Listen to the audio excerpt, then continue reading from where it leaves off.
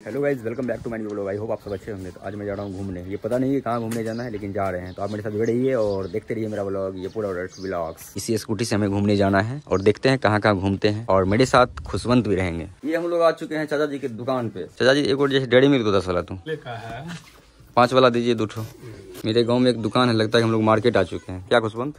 बिल्कुल। ये चाचा जी हैं। चाचा जी एक बार चढ़िए तो उस पर देखते हैं कितना आपका वज़न होता है। सौ किलो है आप। इससे पहले कितना थे? एक सौ पंद्रह। कितना दिन पहले? तीन महीना पहले। यानी कि तीन महीना में पंद्रह किलो वज़न आपका घटा है। यानी कि एक महीना में पाँच किलो का रेशियो अगर इस तरह से पाँच छह महीना और अगर मेहनत करेंगे? नब्बे के लगभग में आ गया। नब्बे के लगभग में। अभी मैं उटेसरा स्कूल में हूँ मध्य विद्यालय उटेसरा। ये टेन प्लस टू है जैसे यहाँ पे लिखा उत्कर्मित उच्च माध्यमिक विद्यालय उटेसरा। यहाँ पर आप देख सकते हैं। और यहाँ टेंथ तक इसमें क्लास होती है इसमें। और यहाँ जो सामने बिल्डिंग आप देख रहे हो इसमें ट्वेल्थ तक की पढ़ाई होती है। तो इस बार से जो सेशन स्टार्ट हुआ है seventy three two twenty five यानी कि 2023 से लेकर के 2025 तक। यहाँ पर बच्चा सब अपना खेल रहा है, कोई नाश्ता वगैरह, जैसे बीच में मिड डे मील का भोजन वगैरह तो वो सब कर रहा है। अभी जो है, बहुत अच्छे अच्छे टीचर आए हुए हैं। यहाँ पर खुशवंत भी हैं। खुशवंत को लाए थे अपना स्कूल दिखाने, उटेसरा में कैसा स्कूल होता है तो ये देख सकते हैं खुशवंत को। तो यहाँ से हम लोग निकलते हैं सलखुआ के लिए। अभी हम लोग सलखुआ पहुँचने वाले हैं। चुके हैं मिठाई की दुकान पे, एक के जी मिठाई ले लेते हैं, उसके बाद चलते हैं दीदी के घर। हाँ। हम लोग आ चुके हैं दीदी के घर मैं और खुशवंत अभी गेट लोग है दीदी बाहर गई हुई है। कुछ काम वगैरह देखने गई होंगी आती होगी। ए छोटे सरकार क्या नाम है आपका? ये मम्मी दी है। ईशान इधर आइए आप। अरे वाह हैं? अबन नू नू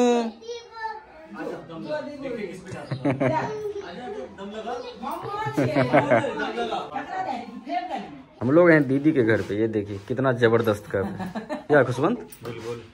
बहुत मस्त लग रहा है। दीदी कब दिल में जच गई कतक खरीद लिया यहाँ से बताइए तो। लेकिन सही में डिज़ाइन ही बहुत मस्त। क्या नाम है? ईशान ना? ये देखिए दोस्तों ईशान के पास कितना सारा जूता है टोकरी में लेकर। इधर आओ ईशान जूता दिखाओ तो। इधर यहाँ पर लेकर गो इधर हाँ देखो कितना सारा जूता है इनके पास। ये सारा जूता तुम्हारा है? वाह। अच्छा इतना सारा जूता आपके पास है? स्लीपर भी वगैरह भी है? चप्पल वगैरह सब? खाली जूते भरल थे दोनों के ना? हम लोगों के लिए भोजन आ चुका है, चावल कड़ी और सब्ज़ी। साथ में कई सारा पापड़। दोस्तों, अभी हम लोग हैं महंत मिट्टू दास उत्तर माध्यमिक विद्यालय, सलखुआ। और ये इतना बड़ा ग्राउंड है। ये जो आप जगह देख रहे हो, इसमें जो है दुर्गा माँ की प्रतिमा लगता है और पूजा होती है, दुर्गा पूजा के समय। और इसमें बहुत ज़्यादा भीड़ रहती है। वहाँ पर कस्तूरबा हो गया, वहाँ पर जो है ये जो है गर्ल्स हाई स्कूल होगी गया आपको तो ये यहाँ सलखुआ हाई स्कूल का आप दृश्य देख सकते हो। चलिए करिए बॉलिंग शानदार। और ये आउट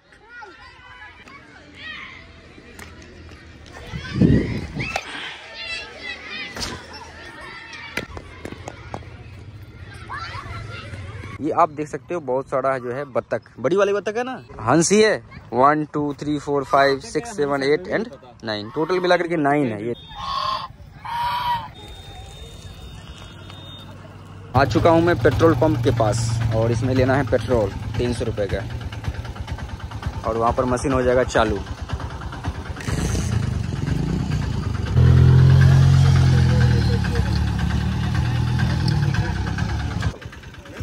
हाँ। हम लोग आ चुके हैं सितुहा पुल के पास। मैं हूँ और मेरे साथ खुशवंत जी हैं और इनको साफ़ पानी देखना अच्छा लगता है। तो सबसे पहले हम जाते हैं साफ़ पानी देखते हैं। आप भी मेरे साथ साफ़ पानी देखिए। आइए। यहाँ आपको दिखाते हैं साफ़ पानी। थोड़ा सा गंदा वगैरह है फिर हम लोग एडजस्ट कर लेते हैं। पर पानी साफ़ है। पर पानी साफ़। पानी साफ़ है। हाँ। आइए। अब देखिए खुशवंत जी जो है आ चुके हैं और यहाँ पर पानी साफ़ देखते हैं। आइए खुशवंत जी आपको पानी साफ़ दिखाते हैं। ये देखिए कितना पानी साफ़ है। यहाँ देखिए पूरा क्लीन है पानी। क्या खुशवंत जी? हाँ यही चंडीगढ़ में तो अब दिखता ही नहीं है ऐसी चीज़ें। एक सुखना लेक है हाँ। सिर्फ़ उसमें पानी है। ये देखो कितना साफ़ पानी है। कितना साफ़ पानी है ये इसमें। ये देखिए। मरो दुनिया वालों। नहीं सच्ची में देखिए कितना साफ़ पानी है ये देखिए आप। वहाँ पे पता है क्या हो गया चंडीगढ़ में? जैसे ना सीवेज का जो है ना हम्म। सारा कुछ मिक्स हो गया है। ऐसे क्लीन कहीं पे नहीं मतलब। हम्म। जो भी पुराने नाले सब थे ना इसमें सीवेज जोड़ दिया है। हम्म। सब गंदा। एक भी ये साफ़ पानी तो समझ ले हम ये- सालों बाद देखे ऐसा लग रहा है। हाँ। हाँ। या तो फिर हिमाचल साइड जाए साइड दिखता है। या फिर यहाँ आए तो यहाँ दिख रहा है साफ़ पानी। है क्या कि ये जो बहता पानी है ये रुकता नहीं है? इसका निकासी कंटिन्यू इधर से उधर है। पानी है पर सीवेज का है। और मतलब गंदा पानी सब कर दिया उसमें गंदा पानी सब उसी में डाल देता है। ये बहुत पुराना पुल है अंग्रेज़ के जमाने का पुल है ये। ये जो पुल आप देख रहे हैं ये अंग्रेज़ के जमाने का पुल है। क्या मस्त जो है खुशवंत एंजॉय कर रहे हैं और मछली को ढूंढ रहे हैं। और मछली है कि यहाँ से निकल करके बीच में जा चुका है। मछली शर्मा गई। मछली शर्मा गई और यहाँ पर मछली पकड़ने का जो व्यवस्था है ये किस तरह से मच्छरदानी का प्रयोग किया गया है? कि पानी इस तरह से इधर जाएगा तो मछली इसमें घुसेगा और फिर मछली इसमें फंस जाएगा। ये आप देख सकते हो मछली पकड़ने का इंतज़ाम और इधर पूला है। तरफ़ जो है पानी का बहुत तेज होने की वजह से मिट्टी कट कट करके जो है बीच बीच में कंप्लीट रूप से ऊँचा हो चुका है और कहीं कहीं पे गाढ़ा हो चुका है। बोलते कहना यही चाहते हैं कि बाहर रहने का जो है ना सबसे बड़ा बैक पॉइंट बोले क्या बोले इसको? कि कमी जो होती है वो इन चीज़ों की होती है। देखिए खुला बिल्कुल। शोर शराबा। हम्म, शोर शराबा सब एकदम कंप्लीट रूप से खत्म।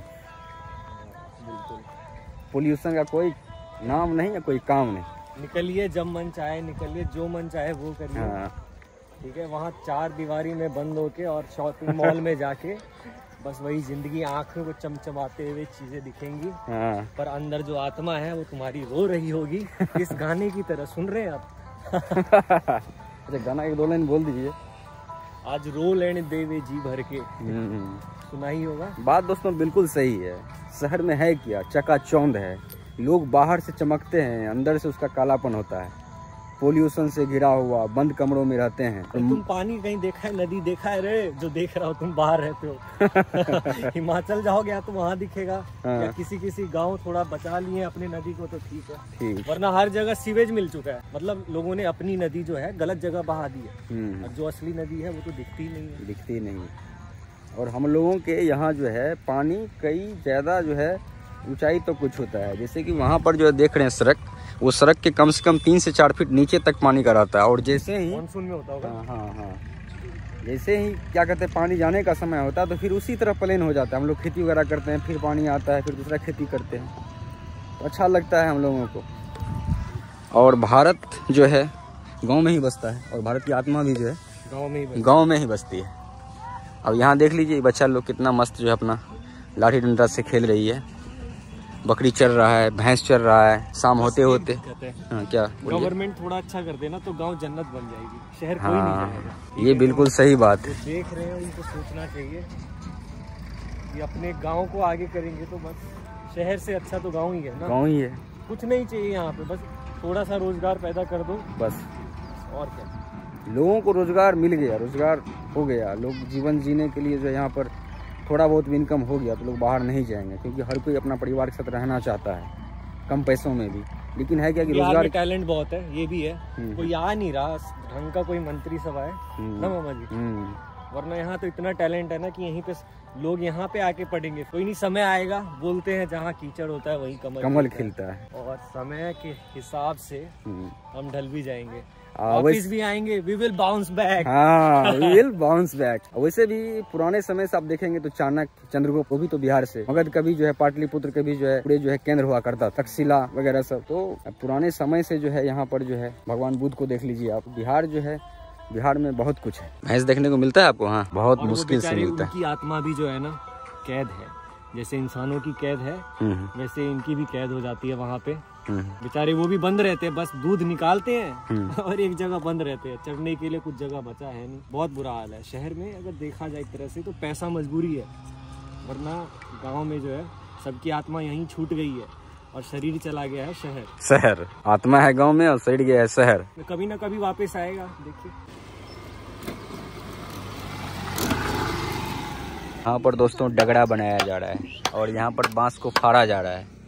और यहाँ पर खुशबंद को मैं दिखा रहा हूँ कि डगड़ा कैसे बनता है। ये देखिए इसमें हाथ कला है। इतनी मेहनत के बावजूद लोग जो है इसमें मोल मुलाई करने का काम करते हैं कि भैया इसका इतना ही देंगे। क्या? मशीन से नहीं बना ये? ये हाथ से बना। आत्मा से बना हुआ है हाथों से ऐसे लोगों को इसमें मोल मुलाई नहीं करना चाहिए था लेकिन लोग है कि बस देखिए किस तरह से जो है उसको हाथ से किया जा रहा है एकदम बहुत मेहनत है इसमें। बाद में फिर मुश्किल हो जाएगा। ऐसा आई दो महीने हुए थे ऐसा ही का एग्ज़ाम देने आए थे। तो थोड़ा सा कॉन्फिडेंस लगा कि दो महीने में इतना कर लिया।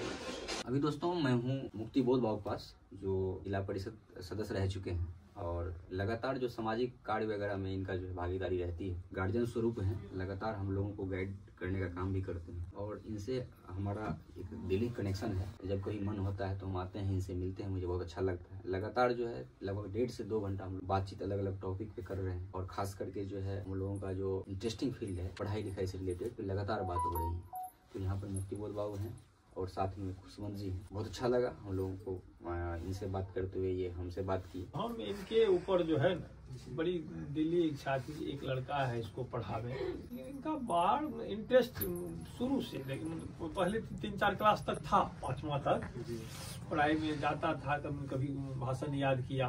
मंच पर बोलने की बात है तो उसमें इंटरेस्ट लिया। अब इनका जो जो उम्र बढ़ता जा उसी हिसाब से इसका जो है मतलब जो है लक्ष्य बदल लक्ष्य विचलित हो रहा पढ़ाई के प्रति नहीं गाय भैंस करें खेती बाड़ी करें मैंने हमारे काम को अपने हाथ में लेकर के चाहते हैं कि हम मैंने जो है इसमें बेहतर हम आसान समझ। पढ़ाई के बदले इनको चाहे मैंने अगर कोई कठिन से कठिन परिश्रम वाले काम में इनको भेज दें तो वहाँ जाना ही पसंद करेगा पढ़ाई को लिए जो है ये आनाकानी करेगा। इसमें सिर्फ़ एक ही रीजन है इसको पढ़ाई समझ में नहीं आ रहा है इसका इंटरेस्ट नहीं बन रहा है।